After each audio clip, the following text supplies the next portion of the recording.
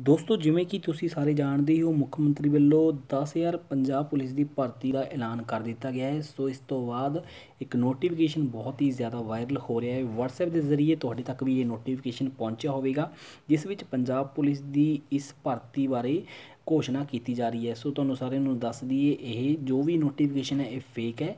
ਇਸ ਦੀ ਪੁਸ਼ਟੀ ਪੰਜਾਬ ਪੁਲਿਸ ਦੇ ਆਫੀਸ਼ੀਅਲ ਟਵਿੱਟਰ ਅਕਾਊਂਟ ਤੇ ਕੀਤੀ ਗਈ ਹੈ। ਤੁਸੀਂ ਇੱਥੇ ਦੇਖ ਸਕਦੇ ਹੋ, ਇਹ ਨੋਟੀਫਿਕੇਸ਼ਨ ਦੇ ਉੱਪਰ ਫੇਕ ਲਿਖਿਆ ਹੋਇਆ ਹੈ।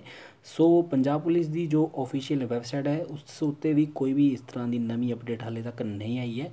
ਤੁਹਾਨੂੰ ਸਾਰਿਆਂ ਨੂੰ ਮੈਂ ਇੱਕ ਵਾਰ ਚੈੱਕ ਵੀ ਕਰਵਾ ਦਿੰਦਾ ਹਾਂ ਤੇ ਤੁਸੀਂ ਖੁਦ ਵੀ ਚੈੱਕ ਕਰ ਸਕਦੇ ਹੋ। ਸੋ ਦੋਸਤੋ, ਇਹ ਪੰਜਾਬ ਪੁਲਿਸ ਦੀ ਆਫੀਸ਼ੀਅਲ ਵੈਬਸਾਈਟ ਇੱਥੇ ਹਾਲੇ ਤੱਕ ਕੋਈ ਵੀ ਇਸ ਤਰ੍ਹਾਂ ਦਾ ਨੋਟੀਫਿਕੇਸ਼ਨ ਨਹੀਂ ਆਇਆ, ਜਿਸ ਵਿੱਚ ਵਿੱਚ ਦੱਸਿਆ ਜਾਵੇ ਪੰਜਾਬ ਪੁਲਿਸ ਦੀ ਇਸ ਭਰਤੀ ਬਾਰੇ। ਸੋ ਤੁਸੀਂ ਇਹੋ ਜਿਹੇ ਫੇਕ ਨੋਟੀਫਿਕੇਸ਼ਨ ਤੋਂ ਬਚਣਾ ਹੈ ਤੇ ਇਸ ਵੀਡੀਓ ਨੂੰ ਵੱਧ ਤੋਂ ਵੱਧ ਸ਼ੇਅਰ ਕਰਿਓ ਤਾਂ ਜੋ ਹੋਰਾਂ ਨੂੰ ਵੀ ਪਤਾ ਲੱਗ ਸਕੇ। ਵੀਡੀਓ ਦੇਖਣ ਲਈ ਤੁਹਾਡਾ ਸਾਰਿਆਂ ਦਾ ਧੰਨਵਾਦ।